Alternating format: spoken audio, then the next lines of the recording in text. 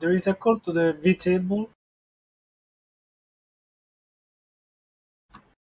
uh, yes but i lost it now